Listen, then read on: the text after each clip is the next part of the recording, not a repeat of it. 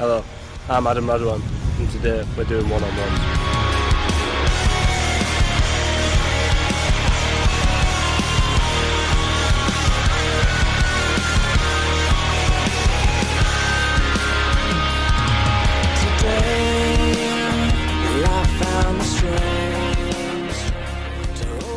So one-on-ones in attack, um, something I get very excited about. It's you know my bread and butter. It's my favourite thing to do is take people on one-on-one.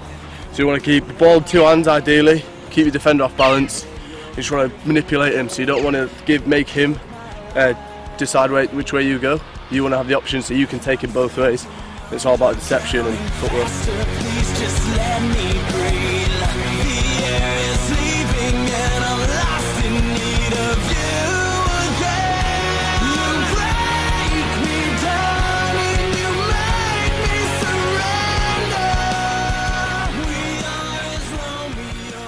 So defending a one-on-one is completely different to attacking.